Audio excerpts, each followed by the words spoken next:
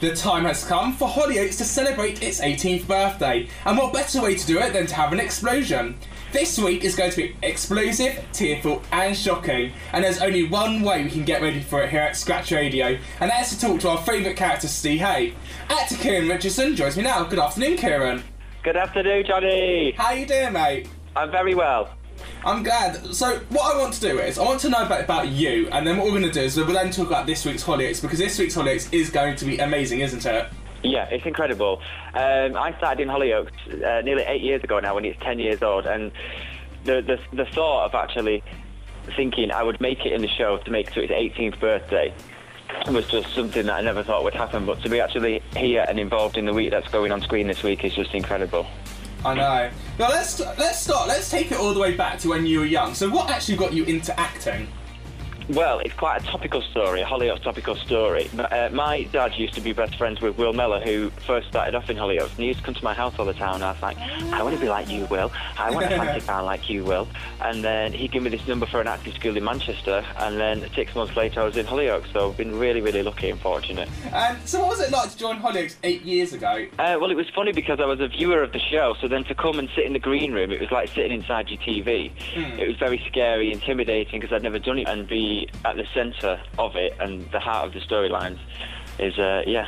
So, what have you noticed in terms of changes over the eight years? Because you've gone through various executive producers. So Bryan Kirkwood was there, then it was Lucy Allan, then Kirkwood's back again. So, what have you? Noticed? I think the most noticeable change for me and for the audience as well is I say this in a lot of interviews. Television itself has changed dramatically over the years. Um, soaps used to be just kind of looking in on people's lives, but nothing too exciting happening. And you'd maybe follow one storyline that would have a big crescendo at the end. But now, because of big shows in America like Breaking Bad and all that, people want to be kept on the edge of the seats and they want to see a twist every single episode. And things just coming out of nowhere. So the fact that us as a show have managed to keep up with that, I think, I think's, I think it's been really good and showed that we are. We're not behind with the times, and we are keeping up with everyone else, including great shows like Breaking Bad or whatever. Well, I think Hollyoaks, especially, is one of the most successful soaps at doing that because we've had. I finally think off the top of my head the twist. We've had Lindsay's uh, Lindsay's death. The good thing about it, it's not just one story that will have this big explosive ending. It's loads of little stories that get bigger and bigger and bigger, and then then there'll be one big massive ending where all the stories kind of come together. It's like a jigsaw puzzle, which Mm. is what you'll see this week in our special week for the 18th birthday. And in eight years, you've had loads of storylines, as we know. You know, you've been violent to Amy, your ex-girlfriend. You've had a relationship with Brendan. You've had the Yeah. euthanasia of your mum, Pauline. What's been your favourite or most challenging role to kind of take these direction in? I think the most memorable and the one that will go down in history for me has got to be the and Brendan story because it was so massive and it had a huge impact with the audience. The fact that he left the show in March and even today people still tweet and message about that storyline. Why do you think that was so successful, though? Um, I think because if you stand the two characters together and their two backstories, they shouldn't really get on. And it was all really down to the writing and the story team, what they created to put those two characters together and from the start to finish of the storyline.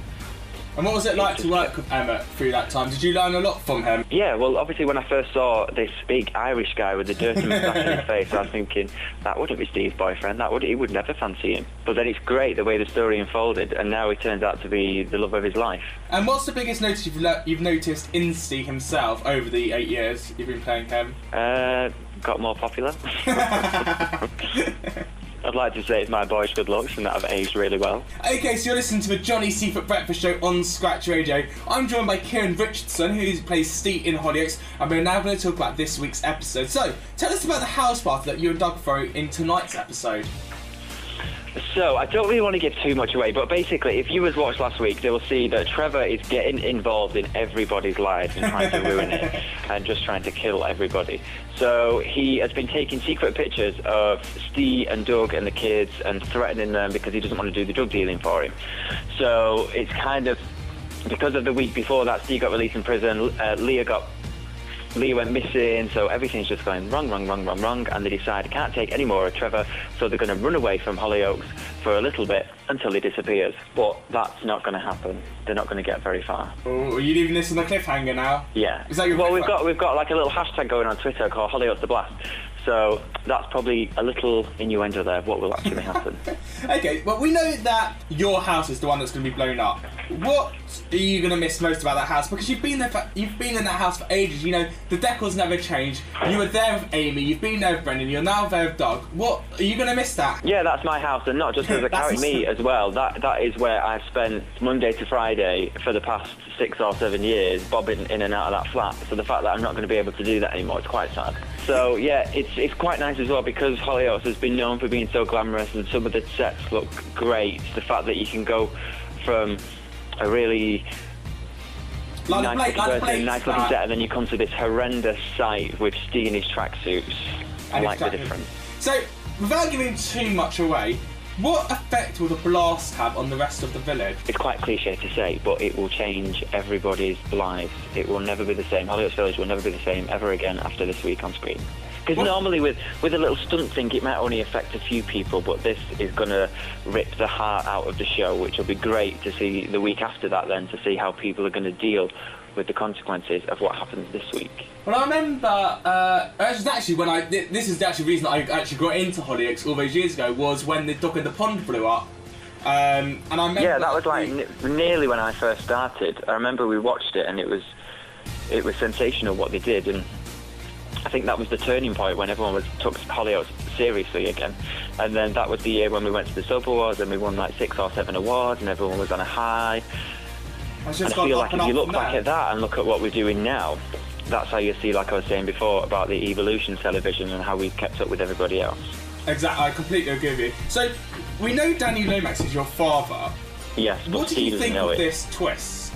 I think the best bit and the most bit that freaked me out was the fact that when Danny first appeared, Ste fancied him a little bit, and Danny fancied a bit of Ste, and they didn't know who they were, and they nearly slept with each other, which turned most people's stomachs inside out because it's horrendous and it should never ever happen. So when, when or if it does ever come out, it's going to be great because there's going to be a lot of talking that's going to be needed to be done that they nearly ended up in bed together. So, how do you feel as Kieron, and then how do you feel as Ste to have a new family to be integrated to if you survive? The best thing about it for me is, for years and years, watching the show and being in it, I've been so jealous that I wasn't a McQueen. I love a good family.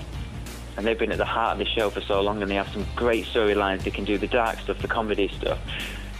So I've sat back and I've watched that going, oh, I wish Ste had a little family. And now it's happened, all my dreams have come true.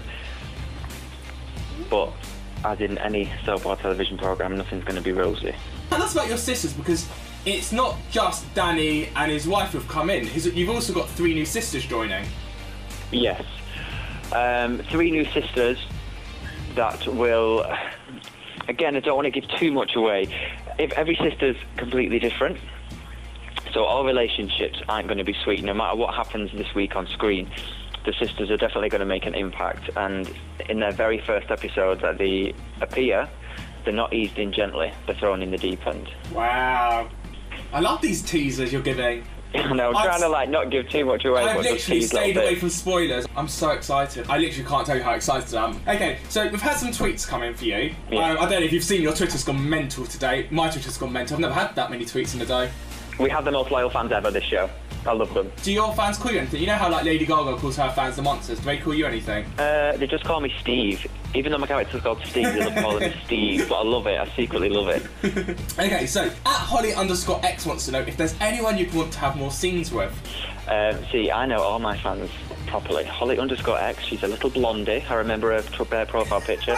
Is there anybody I want more scenes with? Um, I always say this. It's Ashley Taylor Dawson. He's doing Strictly right now, and he's doing really well. But he's also beautiful. So growing up watching him, I've always had a little crush on him, and now I share a dressing room with him, and I just want to be on set with him every single day to look at him. Okay. There's a lot of talcum powder being thrown about and listening each other's bodies. Have you been helping him with his Strictly Come Dancing? I mean, to be honest with you, I'm not a very good dancer at all. He doesn't need any help off me. But you're a good ice dancer. You did the uh, Dancing on Ice a couple of years It was more skating though. I didn't really. My dancing bit was awful, as Jason Gardiner told me every single Sunday. Okay, so at Bolin underscore girl, she wants to know if there's any character you'd want to brought back? If there was any character I would want to be brought back to the show, I would say it would be who was the sister that played the Dean sister, and she was beautiful. She was stunning. Jodi Albert goes out with the Westlife boy, Kian. Kian, I yeah. remember, I remember she's married to him. That's it. I remember looking at her thinking, you are just one of the most beautifulest women I've ever seen in my whole entire life. And then she wasn't here then when I came, so I couldn't Yeah, really did she leave just before you got there? Yeah. And is there anyone else you'd like to act alongside as a male, uh, as another male? Uh, I just, I know, just Ashley Taylor Dawson. Just Ashley Dawson. Yeah. Okay, and at Vicar, Smiley Face wants to know who makes you laugh on set? I know her as well. She's blonde. She's called Vicky Council, and she's from Bristol. So you know all my fans. She wants to know what? Sorry. She wants to know who, you, who makes you laugh most on set. Who makes me laugh most on set? This is the easiest question ever. It's got to be Stephanie Davis. She isn't your average human being. That's the only way that I can describe her.